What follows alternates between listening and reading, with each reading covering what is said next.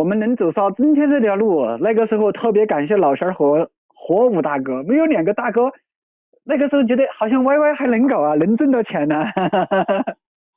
如果说当时一搞就没就挣不到钱，可能早就该凉凉就凉凉了，就该回城就回城了。真的，这个任何人生就是走一路看一路呗，走一步看一步呗。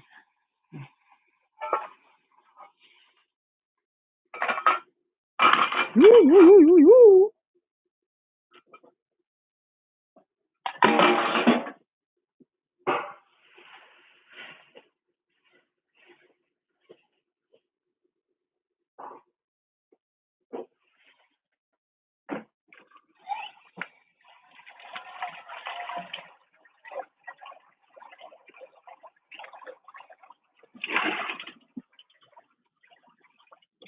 但是好像菜有点不够吃啊，全是肉啊。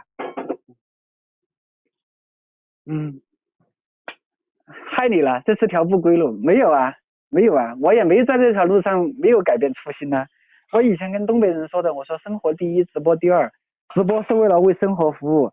我也没有，我也没有改变呢。啊，我也没有改变呢。我的现在的生活，我觉得也挺充实啊。其实我也不累，真不累。只是时间拉长了一点，然后早上呢睡睡懒觉。我为什么要把搞到晚上？因为早上要发快递，又急又赶，又急又赶。你要非要早上很早起来又冷，然后人家八点钟以前又要走，早上别人又有事儿，别人也赶，你也赶，就事情做不好。反正晚上嘛无所谓，时间慢一点慢一点，晚上就是开到十一点，开到十二点的播也无所谓。现在我已经从那种劳动。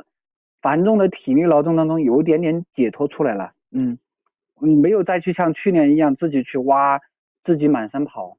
现在你看吧，那些东西都是收来的，自己挖的很少了。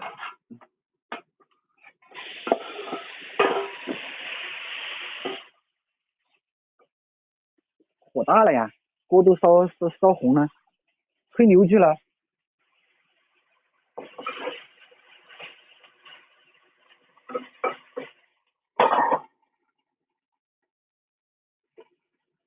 啊，让时间滴滴答答，忙是好事儿，确实是，确实是，而且我不光忙，不然我们都不认，我们都感谢大哥，不然我们都不认识。对的呀，豆姐，要不然你都是你都你来的时候我都播半年了，你来的时候我都播半年了，那个时候先来的是老仙儿和火舞，后来是来的浮尘哥。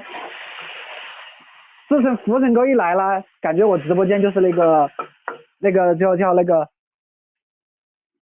定海神针一样，真的就是这样。谢谢老仙儿，谢谢老仙儿。哎。